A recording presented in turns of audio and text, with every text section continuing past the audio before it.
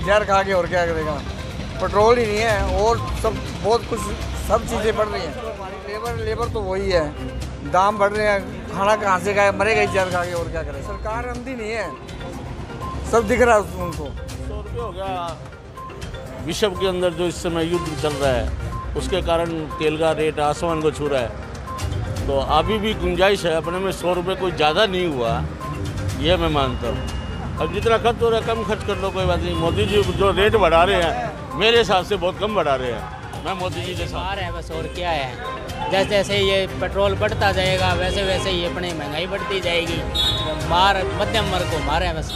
जो भी है, उसकी आमदनी घट रही है, खर्च बढ़ रहा है। घर बोझ तो आना ही है दाम बढ़ते हैं तो बजट तो बिगड़ता ही है जी। घर का भी खर्च चलाना मुश्किल हो जाता है। तो खर्चे तो पहले भी बहुत हैं, हर घर के। और फिर बाद में फिर ये खर्चा और बढ़ जाता है। तो मार तो आती ही है इससे हर एक चीज़ महँगी होती है तो महँगी मिलेगी।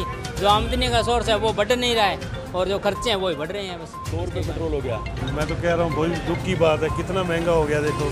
कहाँ से चलाएँगे व्हीकल पहले दाम कम हुए थे फिर बढ़ने शुरू हो गए। मैं वही तो कह रहा हूँ ना अब ज़्यादा महँगे हो गए। हैं। अब सौ रुपये में जो है ना कितने बीस पच्चीस किलोमीटर चलेगी गाड़ी।